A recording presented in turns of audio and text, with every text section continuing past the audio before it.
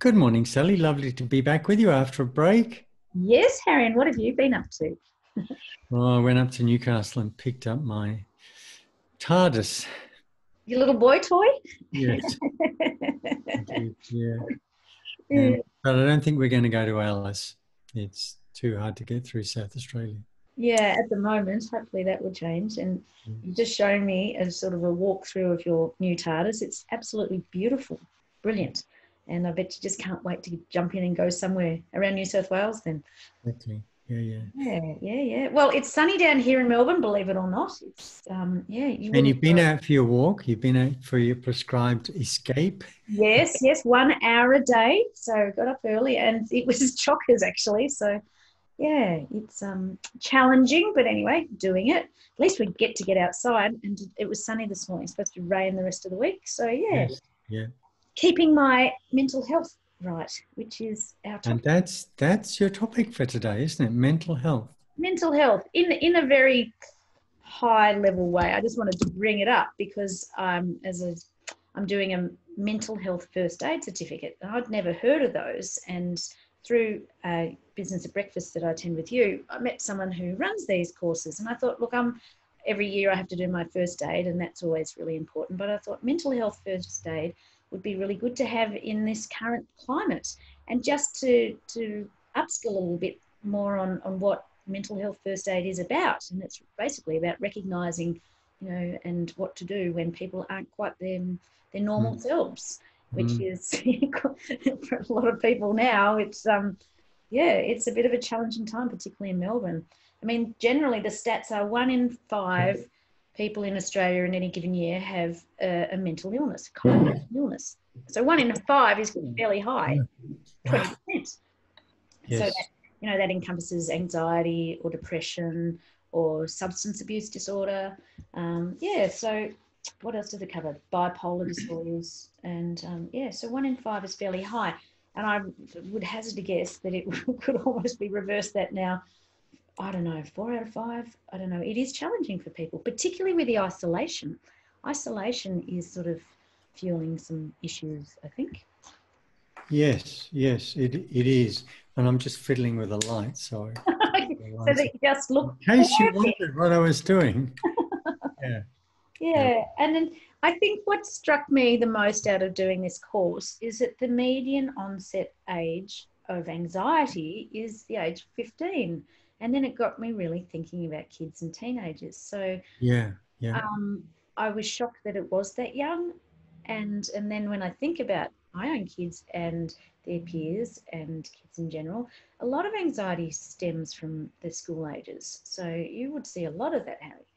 Hormones. I mean i think i got most depressed yeah. around that time. And i think it's because it's just so hard with all the hormones. You don't know who you are yeah, yeah, yeah. You, you knew what you were, but you don't know where you're going. So I've got some stats today. I've actually got quite a lot of stats. It's amazing. I love stats. Bring them on. So the Black Dog Institute, which is one of the helplines, report in Australia that 20 between a quarter and a third of people are reporting increased anxiety levels. So feeling more anxious. Yeah. About one in three. Now, there was an ABS survey at the beginning of the COVID um, impact. So it was published in June 20. Yep. And that they, by a woman called Fisher and a team, um, 13,800 survey. And they found the incidence of mental health problems has double, doubled during COVID. Doubled. Whatever, whatever there is normally, it's now double. And, and I think when I look at when I look at the age groups affected, is probably millennials and and aged people who are the hardest hit. But the aged people are more secure financially, so it's really the millennials that we're worried about. Yeah, yeah. There was an ANU study of over three thousand, and they found that the big issues were social isolation for yep. millennials and also reduced employment opportunities. Right. So uh, those aged 14 those aged 18 to 24, the, the, the uh, percentage feeling distress, so distress is quite a strong word, rose from 14 to 22%, and 25 to 34 year olds went up a little bit less, 11.5 to 18%. What was that again? So from age 18 to 24. So those aged 18 to 24, those feeling distress went up from 14% to 22. Yep. Almost a quarter of feeling distressed. Yep. Those 35, 25 to 34 went up from 11.5 to 18%. Wow. But there's some good news. The Yep. good news is the media is dominated by the American experience. Yep. But in Australia, we're more hopeful about the future than Americans. Yep. And this will, this conveys us resilience.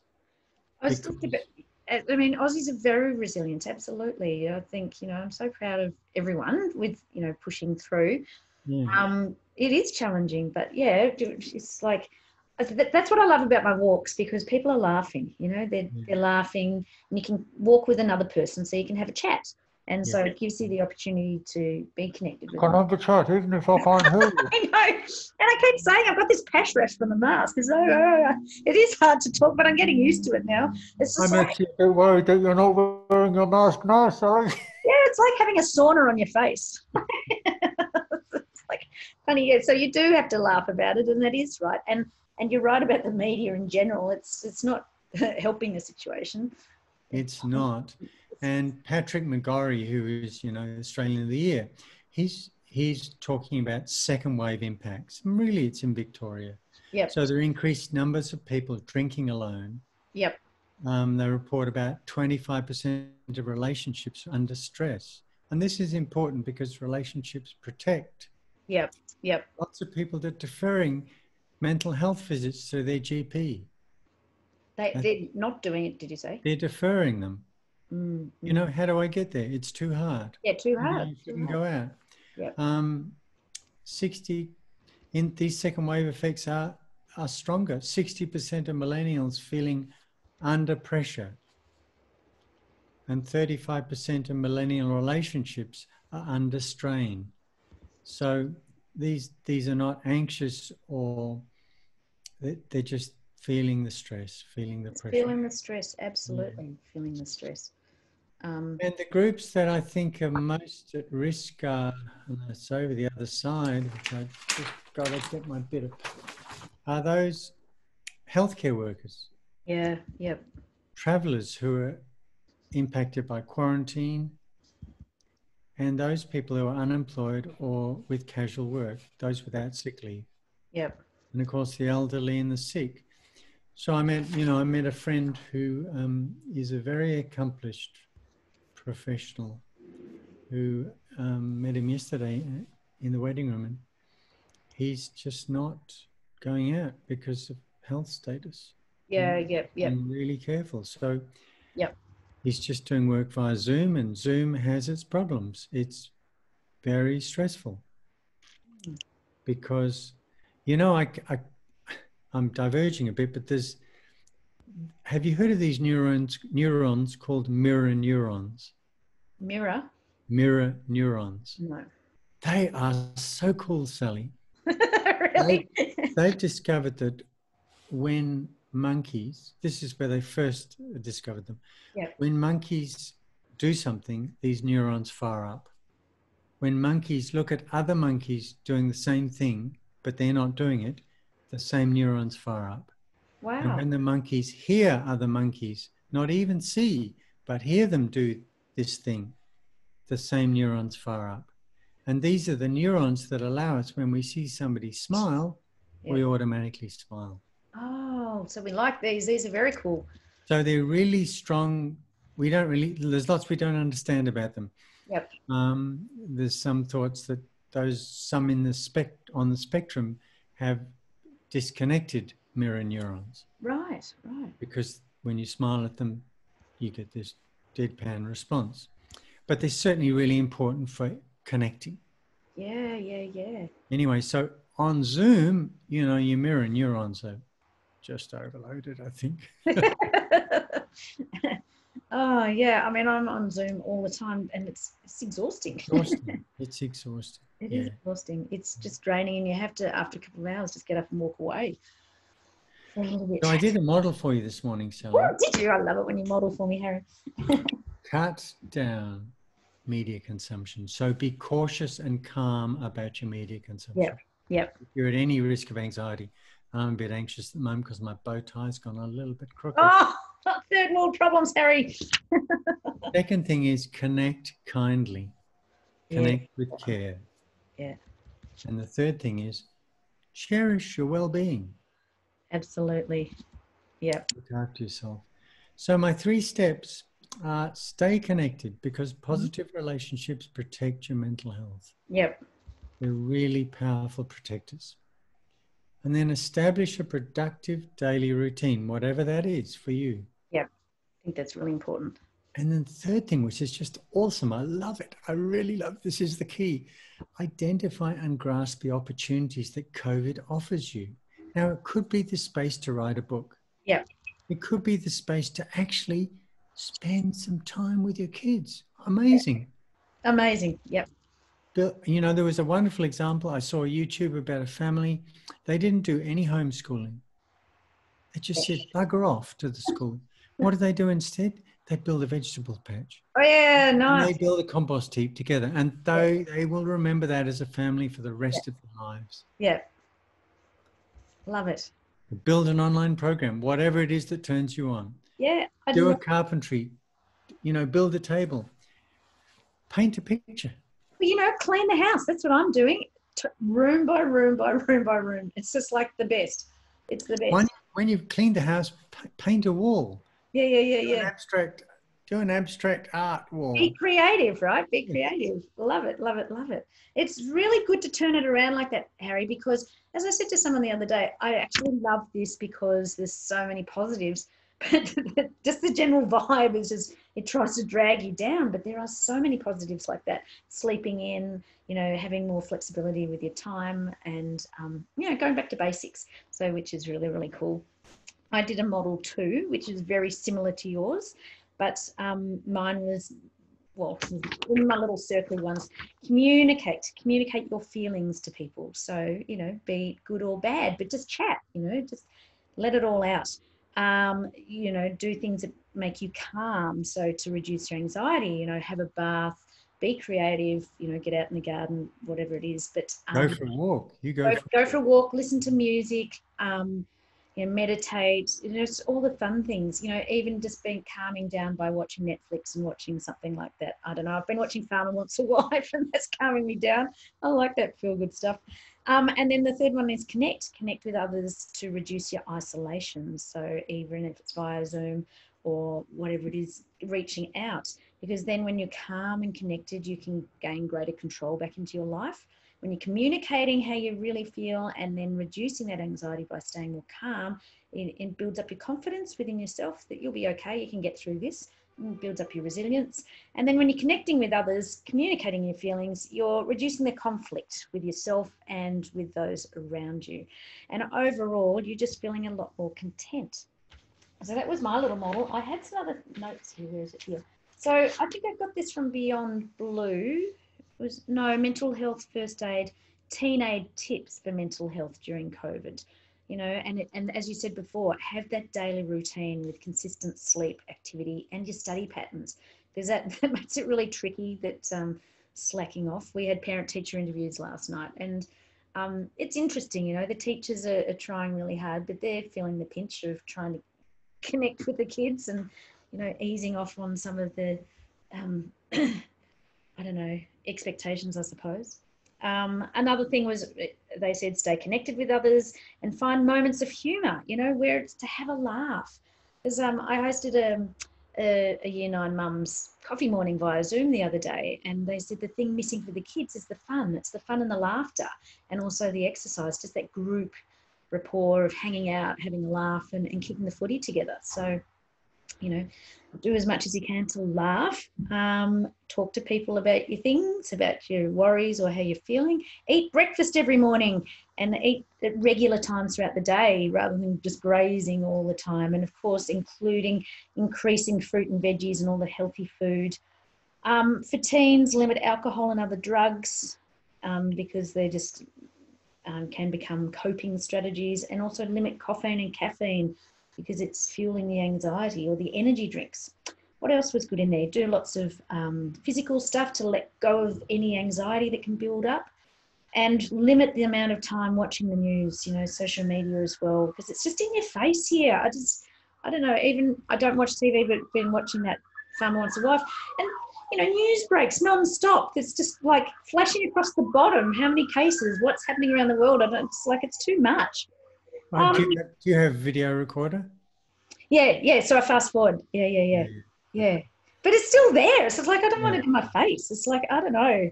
Um, and then just do things that can calm you down or focus your mind and body. You know, yoga, music, jour- journaling. That's another good one because this would be an interesting time to reflect back on your journal ten years down the track of what you're feeling and what you're experiencing. But um, Yeah.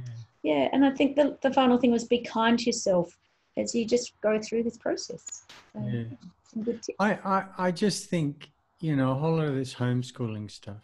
Yeah. mm, I'm not convinced that focusing on the academics at this moment is that productive. I'm 110% with you. 110% with you on that. You know, and I know that's that's the script that the teachers are Yep. seeing. Yeah. But I'm not sure how much wisdom is underneath that. But and as you said, that bonding together, you know, if you go out in the backyard and and do a worm farm or build a compost or build a veggie patch and you know, Build a tree house whatever yeah, life skills too, you know. So You've got access to outdoor space, which a lot of people do. yeah, Especially, although, yeah. And, uh, you know, if you've got a little community at home, use it. yeah, yep yeah, for sure. Well, we've got what another four weeks to go, Mm, just a bit over four weeks, and, and then it'll be interesting coming out the other side. so, um, mm, I remember when I used to sort mail, oh yeah, when I, it was my Christmas job two years in a row, and I went to the GPO in Melbourne. Yeah. And we, we were sitting in this enormous room, and at one end, there was this enormous chute, and the letters would pour down out of the chute into this enormous conical pile of mail, Yeah. Which was about four or five meters high. It was massive. And we would sort, and more letters would come down. Yeah. And it never got any smaller. Christmas time would be full on back in the days. Then they brought me. It wasn't very motivating. And then McKinsey was brought in. Yeah. to work at The post office. My goodness, the post office then was had a few issues. I can tell you. anyway, um, I think it was level level four or five down the bottom. We weren't allowed to go to as students because I think it was like full of people. Just you know, there's a lot of alcoholics down there. Yeah. Anyway, passing over that. Um, McKinsey suggested at the start of every shift, stop the flow of letters into the pile. So that as you went through a shift, the pile gradually diminished and Yeah, there was yeah. nothing at the end and you felt you'd done something. Yeah, yeah, yeah. But I mean, I guess a lot of people are wondering, well, what happens if this outbreak doesn't get controlled and is it going to go on for how long? Yeah. And what am I going to do? And Yeah. so on. Yeah. It's the uncertainty that's hard, isn't it? Yeah, yeah, it is. Um, and it's just staying in the present moment because it's Mm, just going to fuel the anxiety. But I think that's a really good point of like just stopping. You know, we are always talking about stopping, but you know, you've got a workload. And so this week I've taken a couple of days off because it was just morphing into another day ending with why, another draining Mm. day. And I thought, well, I can actually be smart and compact it into a couple of days and have a couple of days off. So I Mm. can clean the house properly and do the other things that have been annoying me. So yeah, it's it, being creative about doing things differently, Harry, as we're coming out of it, so that it does mix it up. So you have some sort of achievement, that you sense of achievement.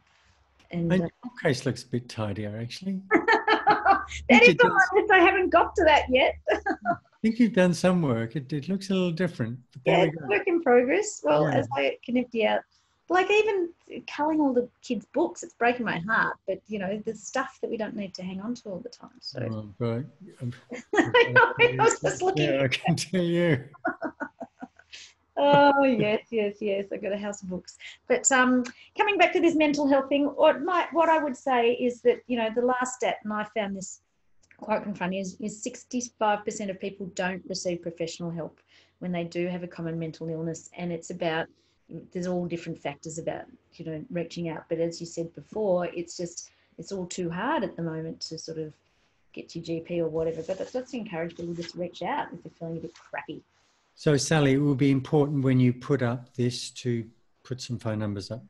Yeah, people. absolutely. So we've got Beyond Blue, Black Dog, Lifeline, Headspace, Kids Helpline. They're just a few Yeah, that are out there. So I'll definitely put those up um, on our Yeah. post, Harry. And they and they they're great resources.